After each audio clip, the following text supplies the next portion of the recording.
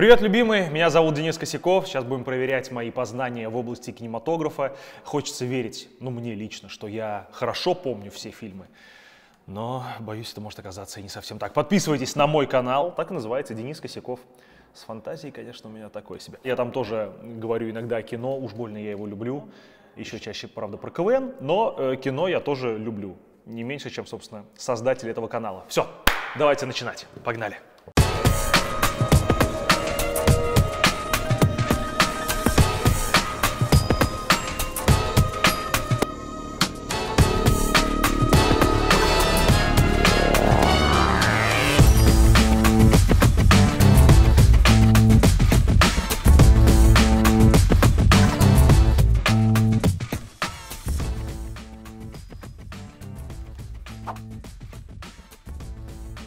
Итак, это очень просто, это две- ой, 12 разгневанных мужчин. «Джентльмены удачи», один из любимых моих фильмов в детстве.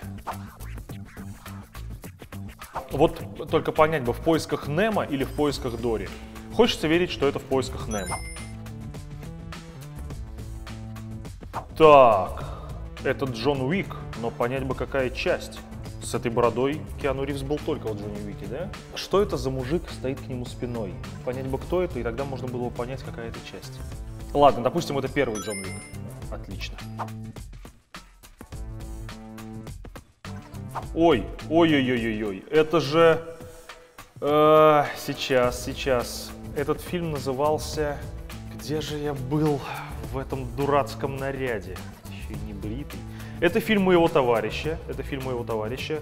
Второй его фильм «Рейк», а этот фильм назывался, это была антология из трех фильмов. Одну из новелл снял Вова Мистюков, и называлась эта антология «В погоне за мечтой». Да. Ну, это классика. Как, как это можно не знать? Это четыре комнаты. Прекрасное кино. Очень точное. Это Анфиса Черных замечательная. Она у нас снималась в «Острове», кстати, в пилоте. Потом она вымахала и на 15-летней уже не была похожа, поэтому ее заменили. А еще начала учиться. Классная актриса. Это географ «Глобус пропил». Неплохое кино. Невероятная жизнь Уолтера Митти. Шерлок, Шерлок. Свадьба была, если не ошибаюсь, в третьем сезоне.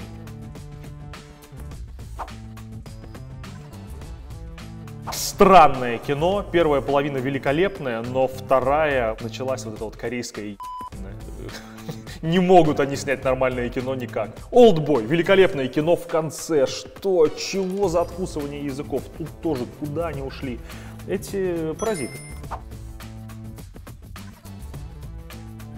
Опачки. Судя по W и количеству детей, это Чарли шоколадная фабрика. И судя по качеству видео, это, скорее всего, ремейк уже с Джонни Деппом. Идеальные незнакомцы. Вот с идеальными незнакомцами была, конечно, история. Вышли идеальные незнакомцы. Генеральный, э, а нет, главный редактор на тот момент канала ТНТ говорит, Денис, посмотри, классный фильм вышел, напиши адаптацию. Я думаю, прикольно, начал писать адаптацию. Написал адаптацию, приношу на канал, он говорит, а, уже квартет И снимает. Вот, думаю. Но у квартета И получилось. Они молодцы.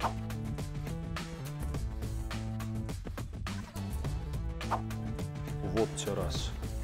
Справа это тот ирландский актер, с которым у меня почему-то не складываются отношения. Мне почему-то его фильмы не заходят. Головой понимаю, что он крутой, и фильмы вроде как хорошие, но это, это Голгофа, что ли?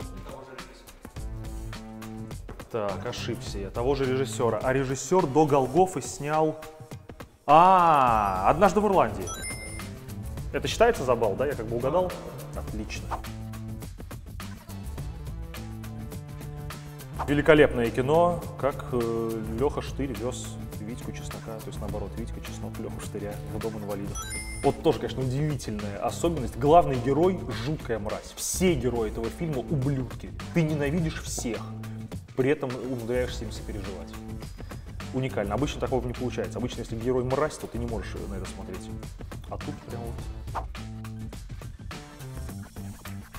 Аллеринская, а значит, это фильм «Неадекватные люди».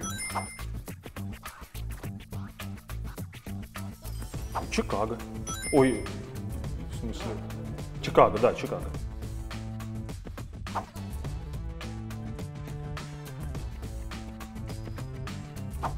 Там назывался-то, блин, а? Это эпизод 7, по идее? Э, Стоп, какой 7? В смысле, 7 это новый, это эпизод 1, наоборот. А эпизод 1 это призрачные угрозы. Но это значит не он, соответственно. Это не он. Призрач... Вот не фанат я Звездных войн. Ну, ну вот не, не понимаю я их прелести, к сожалению. Понимаю фанатизм многих людей, а сам не, не смог приобщиться к этому всему. Так, была, значит, призрачная угроза. Война клонов, значит. Опять нет. Войны клонов.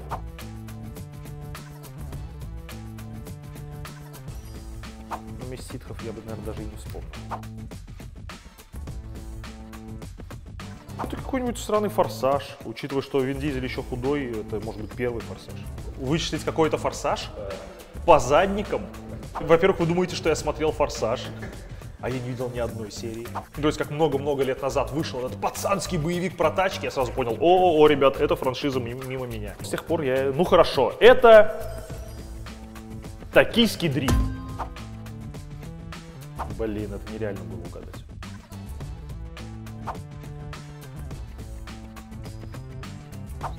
Вот мой английский, конечно. Судя по заголовку, это, видимо, в центре внимания. А с аниме-то у меня проблемки. Меч, определенная стилистика нарисованная. Где же, где же, где же я это видел? Это какой-то... И, по-моему, это не аниме. Какой-то другой стиль. Что-то американское. Что-то американское, вот так вот нарисованное. А что у нас так было нарисовано? Из последних только в Человеке-пауке там другая была тоже рисовка. Американский мультфильм какой-то. Судя по всему, с рейтингом R. Потому что нарисован так, не попсово. Да это, это совсем не с последнего, понятно. Из последнего я бы помнил. Секундочку. Это не мультфильм. Это воспоминание Люси Лью. Это убить Билла. Ай, хорошо. Черт. А с американской-то классикой Касабланка, что ли? Я не смотрел к своему стыду, но я, я в информационном поле.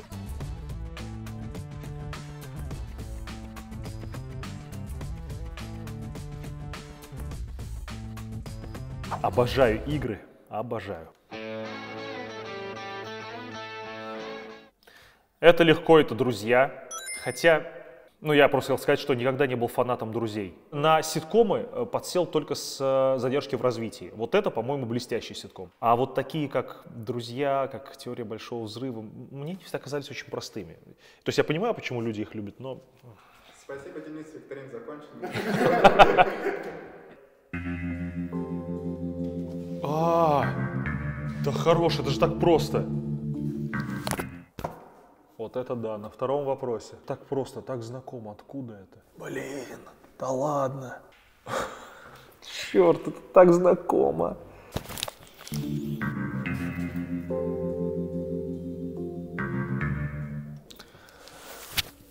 Фильм? Нет, это не фильм. Это еще и сериал. Слишком знакомое что-то, слишком.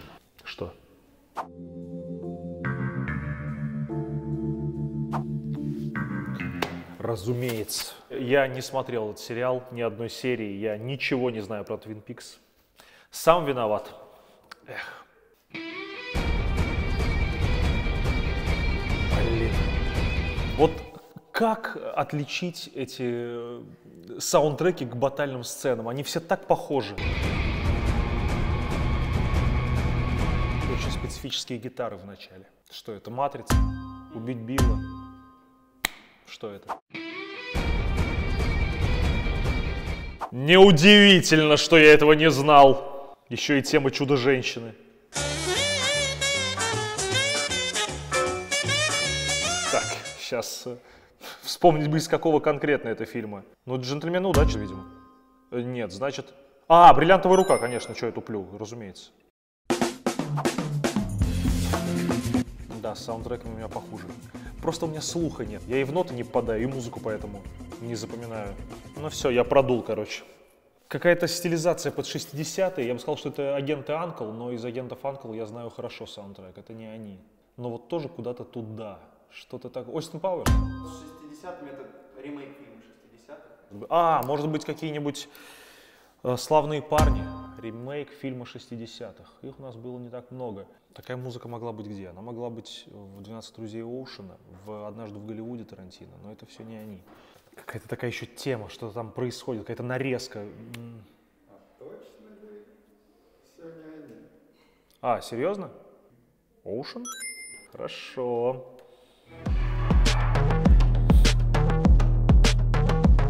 Ну, могу предположить, что это какой-нибудь Джон Уик, но, но это не он. Что это? Да, ребят, ну вы и кино, конечно, задаете. Досмотреть-то этот фильм подвиг, а тут еще и музыку из него вспомнить.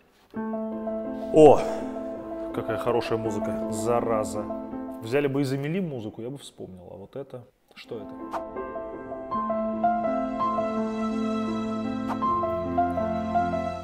Не смотрел Хатика, стыд мне и позор, стыд и позор.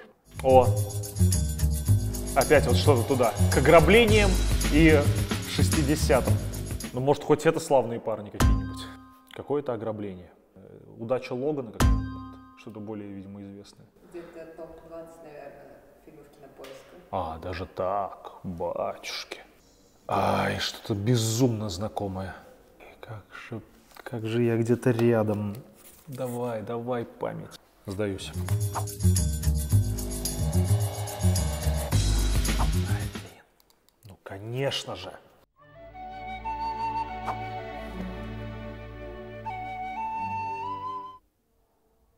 Титаник? Что это? Нет, нет, нет, какой Титаник? Там вот эта флейта. Это мультик вообще какой-то. Это не Гарри Поттер, но, возможно, это «Властелин колец» с такой музыкой. Какая часть? Первая?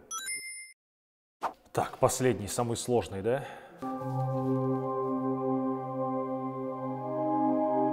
А что, а музыка-то где? Что мне поставили, что это? А где музыка? Это начало. Сейчас должна музыка начаться, она не начинается. Не, ну это нереально. Ну как? Там весь саундтрек фильма в таком Весь такой выживший. Танцы с волками. Что, что, откуда может быть этот саундтрек? Серьезно, там весь такой саундтрек. Эх, ну вот видите, вот плохо быть человеком без слуха. И петь не могу, и в викторине проиграл.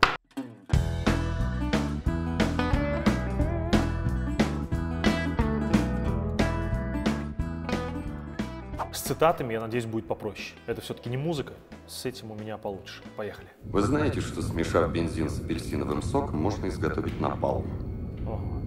Нет, я не знал. А это правда? Правда. Это, видимо, вещества можно делать бойцовский клуб, скорее материалов. всего. Сейчас он про мыло Не уж, скажет. Если захотите. Бойцовский клуб. Никогда не рано быть тем, кем хочешь быть. Нет временных рамок. Начни, когда захочешь. Ты можешь измениться или остаться прежней. Для этого нет каких-то правил. Мы можем сделать лучший или худший выбор. Десяток фильмов можно подобрать, куда это подойдет. Начиная от фильма с этим молодым Брюсом Уиллисом, заканчивая вообще чем угодно. Нет временных рамок. Кто там Начни, когда захочешь. по воде шлепает. Что-то про время, про выбор. Это же я прям люблю все эти фильмы. Я это сто процентов смотрел. Слишком ли- минорно и лирично для «Назад в будущее». Там и не было таких реплик, это не они. Это что-то другое. Выбор, выбор менялся. Когда не поздно, нет никаких рамок. И не день сурка. Что это? Блин. Как ты вообще собралась с кем-то отношения строить, если обижаешься такой Это остров. Да, сейчас даже скажу серию. А я не собираюсь тут строить отношения.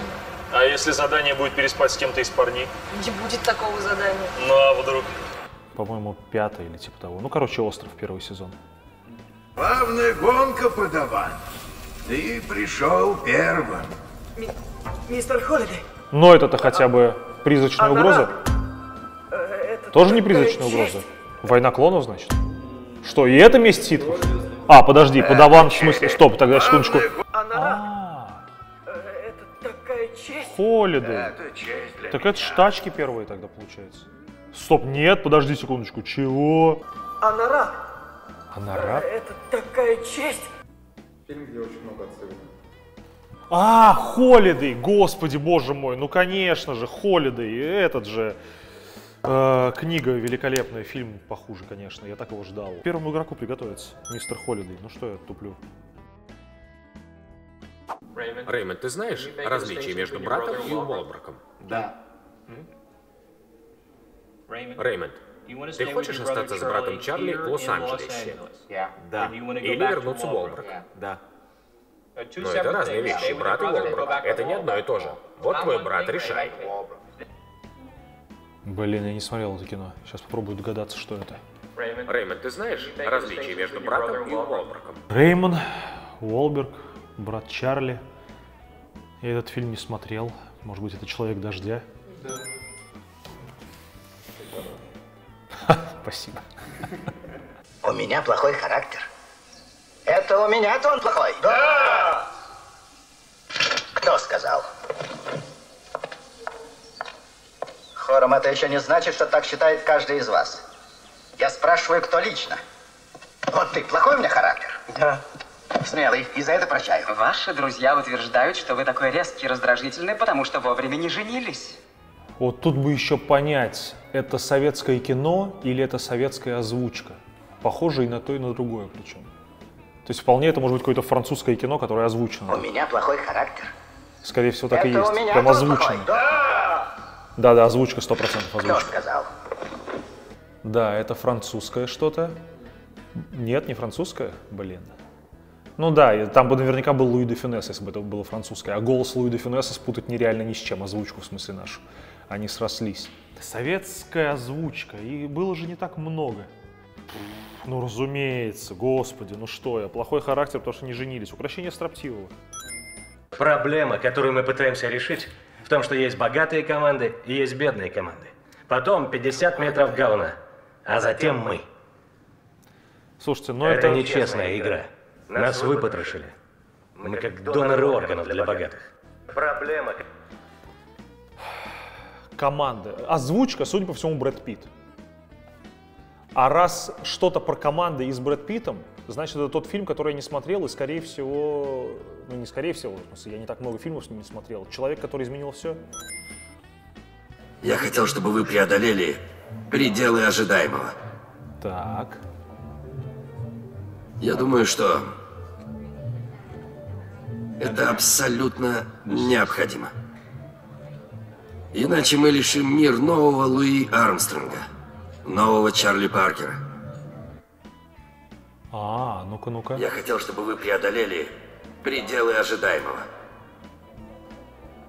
Хочется сказать, что это зеленая книга, но там не было вопроса о том, лишим ли мы кого-то нового Луи Армстронга. Он уже состоявшаяся звезда. Одержимость? Ну, а, да, одержимость. Одержимость.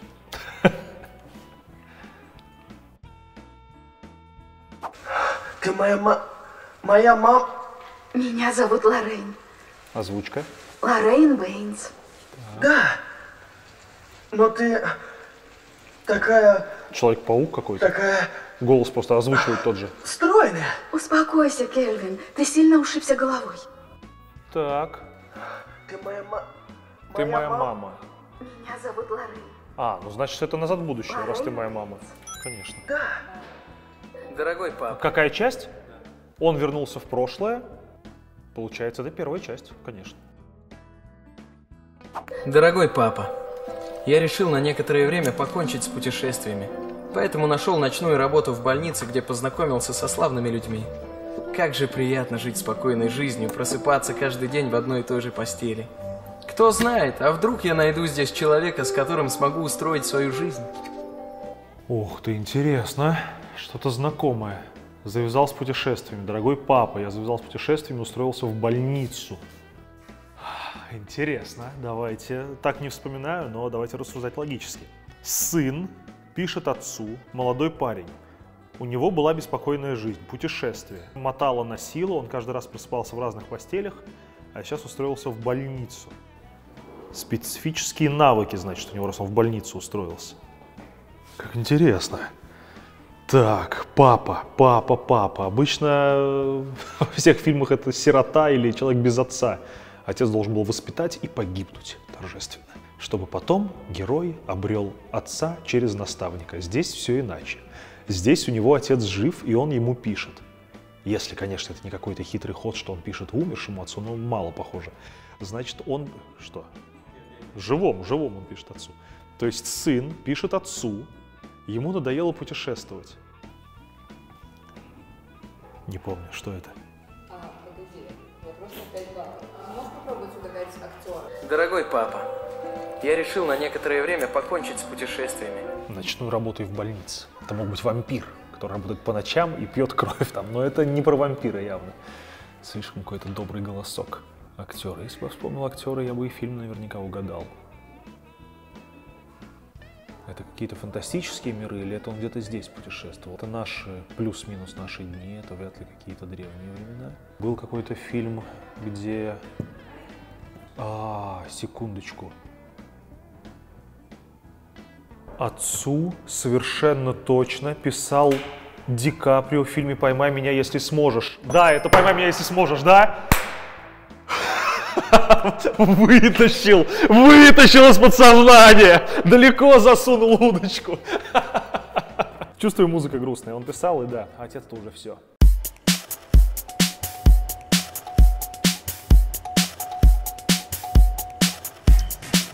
Итак, а давайте я буду тянуть все зелененькие. Я же приехал сюда из Зеленограда.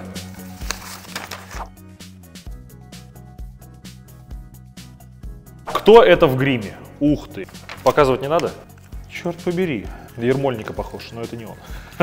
Какой хороший грим. Да еще и черно-белая фотография. елки А лицо знакомое, да, я его точно знаю. Какой-то суперизвестный чувак. При этом такой хороший грим, что я не могу его узнать. Но это какое-то старое кино, соответственно, актер молодой. Сейчас он по-другому выглядит.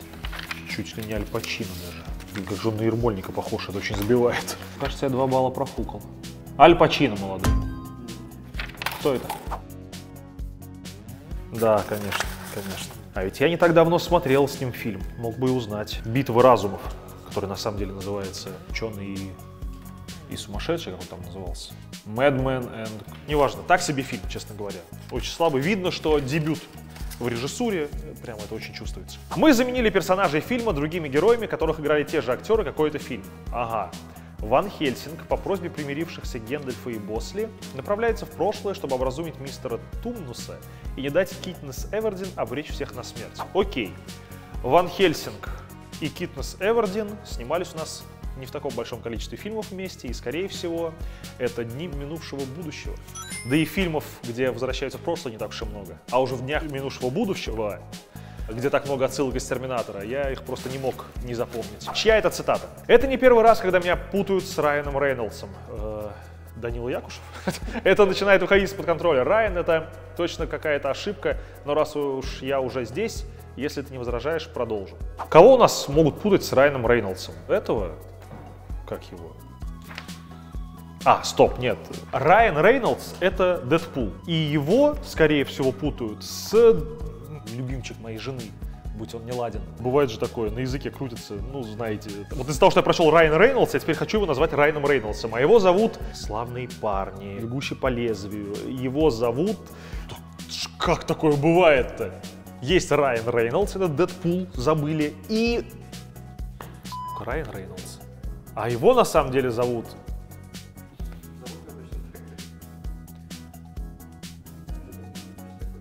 Райан Гослинг, конечно, конечно.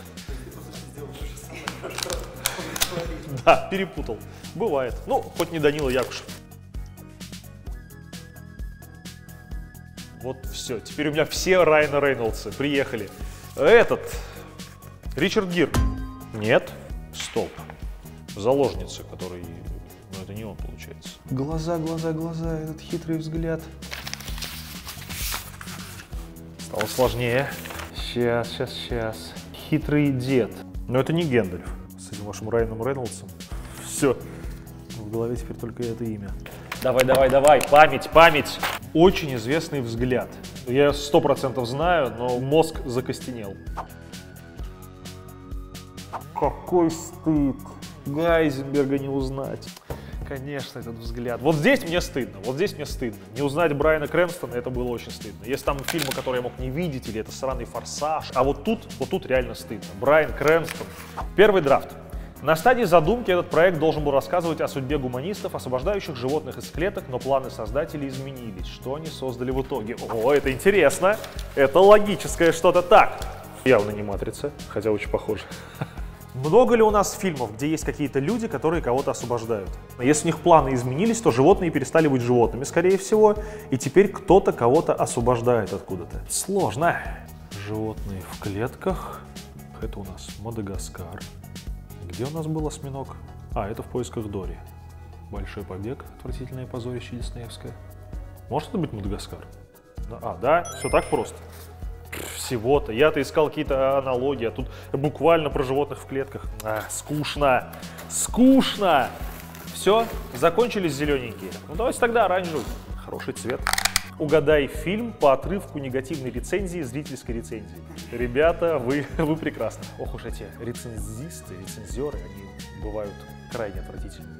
Вы знаете, что у фильма «Джокер» рейтинг ниже, чем у «Охотницы за привидениями»? Потому что там, в частности, я даже в Твиттере написал этому, этой, как обозвать трансгендера? Трансгендеру, я написал ему, очень поругался. Он поставил низкую оценку Джокеру, потому что этот фильм его не веселил.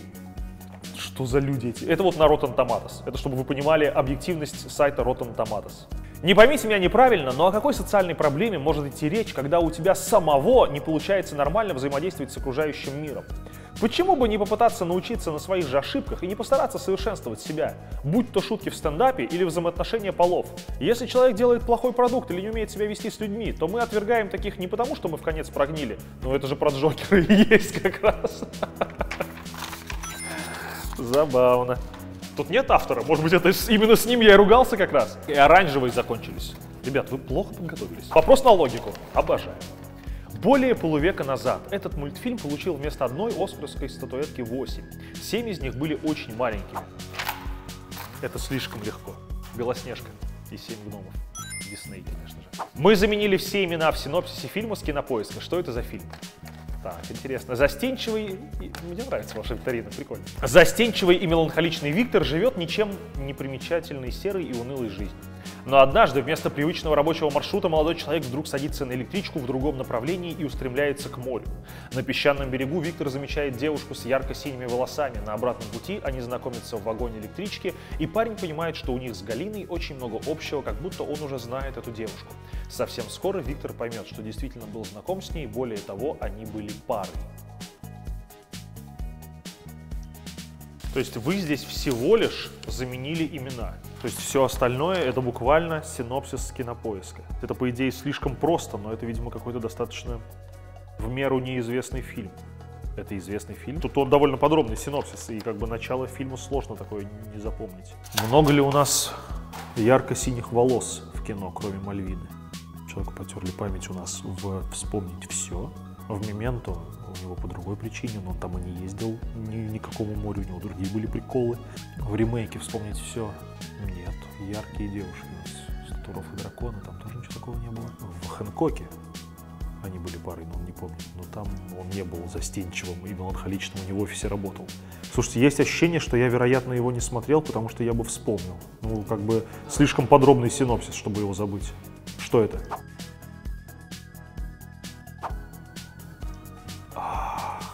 Это фильм, который я постоянно хочу посмотреть, потому что это Джим Керри и Гадри. Я почему-то в детстве его что-то не совсем понял и не стал смотреть. А сейчас, когда посмотрел «Шучу», я понял, что Гадри реально гений, и мне необходимо посмотреть целиком, нормально взять и посмотреть «Вечное сияние чистого разума». И я до сих пор этого не сделал. И вот здесь мне стыдно даже больше, чем на Брайане Крэнстоне. Скоро, кстати, второй сезон «Шучу». Если им удастся сохранить примерно такой же уровень, чтобы в каждой сцене была какая-то настолько крутая придумка, чтобы каждая сцена была также решена, но это я буду просто дичайшим фанатом Гадри. В пародийном видео этот актер пел о сыгранном персонаже, о ком персонаж идет речь. Песня. «Ты не могла бы дать мне руку, потому что у меня всего одна. Я скучаю по пальцам, как ты скучаешь по сну. Ты думаешь о... Такой живой пацан, я был его дядей и отцом».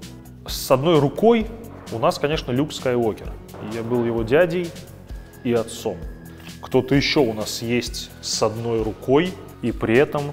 А, ну конечно же, я был его дядей и отцом, ну что я туплю. Кристофер Ван Вандаул, как его там его произносит эта фамилия? Джейми Ланнистер. Угадай фильм по отрывку негативной рецензии, зрительской рецензии, ребята, у вас э, ваш стиль чувствуется. Куски с именами опущены. Нет смысла перечислять все те бесчисленные моменты, когда все, что нужно было сделать для прекращения функционирования это нажать спусковой крючок. Совершенно загадочным остается момент неиспользования метательных ножей, игл, сайт, топоров и так далее. Кстати, самое удачное решение по умершвлению – это при обнаружении цели, что по логике нужно делать максимально скрытно, изобразить из себя лужу, ползти к неуловимому Джо и без лишних хлопот проткнуть его заостренным металлическим стержнем от ягодиц до темечка. Приятно, что именно этим фильмом мы заканчиваем нашу викторину, потому что неуловимый Джо, фамилия у него, разумеется, Конор. Но он бы долго, Т-1000 бы долго полз лужей. Терминатор 2. Негативная рецензия на Терминатор...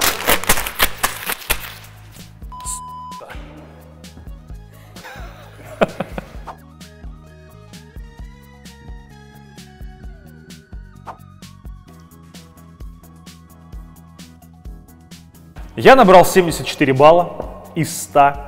Это не так плохо, но, конечно, я рассчитывал на большее. Две катастрофических ошибки, очень стыдных, я допустил. Это меня и подкосило. Ну, еще отсутствие музыкального слуха. Но, тем не менее, это было неплохо, как мне кажется. Спасибо за внимание. Напоминаю, подписывайтесь на мой канал, поговорим там о, о фильмах тоже. Спасибо, шикарные. Ставьте лайк этому видео, репостите его, вдруг так еще делают. Хочется, чтобы в этой викторине принимало участие больше людей, и больше людей это видели.